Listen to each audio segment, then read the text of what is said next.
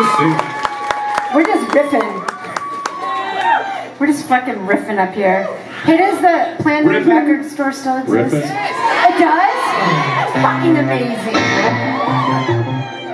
Because I'm 15, I mean, I'm 47, I mean, I'm, You're 14. my, my inner child definitely is like not even 15, but um, I asked my shrink if I could put my inner child in the trunk of a car and just push it over the like cliff and hear her screaming.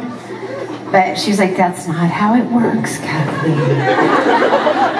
I fired her. I was like, I need to find somebody who'll help me put my inner child in a car and push it over the cliff. I was like, I can't deal with her anymore. She's annoying. Um, but yeah, I was 15 when I lived here for a little brief time. I went to Plan 9.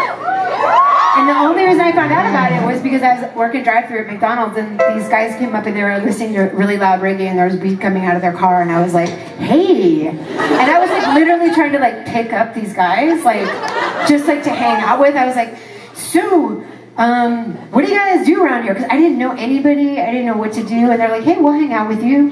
And so after work, they picked me up, we smoked a bunch of weed, and then the next day we went to Plan 9 record store. And I was like, southern hospitality. But um, yeah, it was great. Except for my sister who I lived with. Another story from my therapist. Not She's voting for Trump.